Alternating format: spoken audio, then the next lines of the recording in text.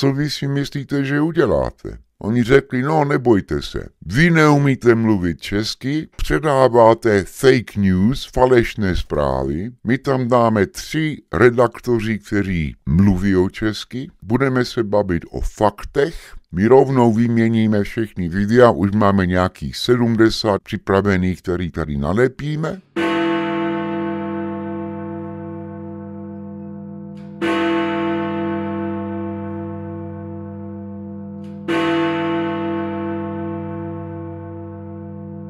Vážené dámy a pánové, jak tady sděluje titul, prodejní smlouva byla podepsaná poslední týden, prodej kanál Kurva Hoši, potom vám sdělím tady podrobnosti, za 370 tisíc korun. Odkoupila to jedna marketingová společnost, potom vám sdělím podrobnosti. Všechno bylo domluvené přes dva notářské studia, jedno v Brně a jedno v Olomouci. Tady vám rychle sdělím, jaké jsou podmínky téhle kupní smlouvě. Mám nějaké věci, o kterých se nesmím bavit a nějaké, které můžu. Smlouva Smlouva obnáší různé body, například, že do příštích pět let nesmím si otevírat další kanál, který má něco společného s názvem Kurva Hoši. Ani ten druhý, který už mám zaregistrovaný nějaký dva a půl let, který se jmenuje Kurva Hoši 2, ani ten nesmím používat. To stejné platí pro jméno Jebal Šukal nebo Šukal Jebal a den předávání je úterý po velikonoční neděli. Znamená zítra v úterý, předávací protokol je velice snadný. Já novým majitelům musím sdělit uživatelské jméno a heslo na tento kanál Kurva Hoši. Oni to samozřejmě rovnou změní na jejich uživatelské jméno a heslo a potom budou dělat to, co musí udělat. První krok pravděpodobně bude, že vymažou všechny videa tady. Částka té smlouvy je, že já nesmím sdělit jméno marketingové firmy, jenomže nikdo mi nezakázal sdělit, pro koho oni pracují a oni pracují pro Ivana Bartoše a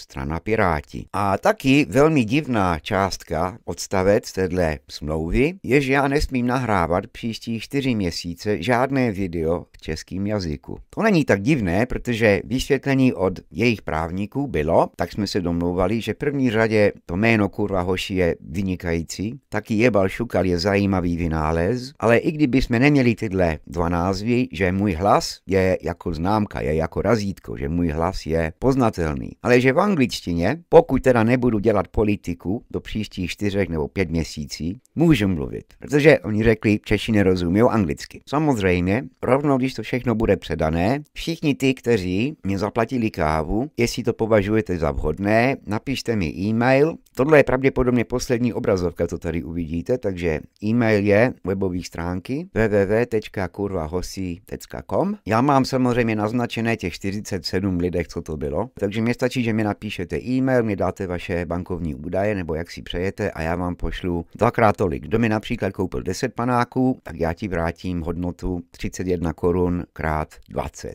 A jestli do tohle teďka poslouchá, si myslíte, že vy jste překvapení, že to odkupuje marketingová firma, která zastupuje Bartoša a Pirát, Piráti, to si můžete představit, jak já jsem byl překvapený. Kontakty začaly před nějakými čtyři týdny a já jsem jim od začátku sděloval. Já říkám, poslouchejte, tohle není v žádným případě nějaký levičácký kanál. Lidi, kteří poslouchají, pravděpodobně nemají moc rádi Piráti. Takže oni mě částečně sdělili a částky tohohle nejsou ve smlouvě, kvůli o tom se můžu teda bavit, ale musím si dávat bacha. Mohlo by potom nastat penále, jestli řeknu něco moc negativního. V první řadě já se částečně nedívím, protože jestli se podívám dívám na YouTube kanál Piráti, oni mají jenom 20 800, který berou odběr. Já jich mám tady 10 tisíc. A já nejsem politická strana. Ivan Bartoš, ještě horší, ten má 552, který berou odběr a má tam 27 video. A zajímavé je, že Piráti na jejich YouTube kanál, aspoň to je naznačeno, mají 684 video. Tohle je moje 685. video na tomto kanálu. Jak se říká, náhoda je blbec. Tohle jsem si nemohl vymyslet, kdybych se snažil. No a já jsem se jim snažil pomoct taky. Jim říkám, poslouchejte, ale já mám zablokované tady reklamy. YouTube mě vůbec nic nedá. Co vy si myslíte, že uděláte? Oni řekli, no nebojte se. Vy neumíte mluvit česky, předáváte fake news, falešné špatné zprávy. My tam dáme tři redaktoři, kteří mluví o česky. Budeme se bavit o faktech.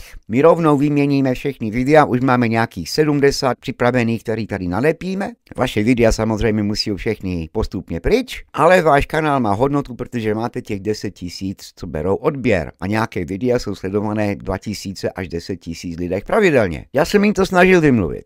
No a potom soukromě jeden právník, nebo právnička, to, jich bylo čtyři, jsme se volali a ona mi řekla, víte, já vás chápu, ale já si myslím, že jste inteligentní dost, abyste pochopil, že my vlastně kupujeme vaše ticho. Nám je to jedno, jestli tam budou nějaké reklamy. My jsme přesvědčeni, že do nějakých 6 měsící budeme mít 100 tisíc, kteří budou sledovat tento kanál. A já ani nevím, jak se to bude jmenovat. Předpokládám, že to nebudou nazývat Piráti nebo Bartoš. Myslím, že někdo si zmínil o něco jako fakta. Fakta, no, fakta. Jistě to nebudou moje konspirační teorie. No, na jedné straně se cítím trošku, že bych zradil sám sebe, protože tohle je projekt, do kterého jsem velice moc věřil, dělal jsem to zvláštní, ale hele, kdybyste byli v mojí pozici a YouTube vás zablokuje, nebo blokuje, že si nemůžete nic vydělat, i kdybyste mohl mít pět reklam každé video, 370 tisíc je velice pěkné číslo. Jak to půjde dál, já nevím, protože příští 4 nebo 5 měsících mám zákaz se bavit českým jazyku o politice. Já bych zítra si mohl otevřít jiný kanál, vám to sdělit dneska, že tam se budu bavit v angličtině, koho to zajímá. Ale podívejte se na stránky kurvahoši.com, do konce tohohle týdna tam budou nějaké zprávy. Něco nechám vědět. Jinak srdečně děkuji všem, kteří mě poslouchali tady už tři roky a něco. Ty, co napsali příspěvky, ty, co taky se naštvali, ty, co by nadali, ty, co mě koupili panáka. A jako vy samozřejmě jsem zvědavý, co tady bude na tomto kanálu od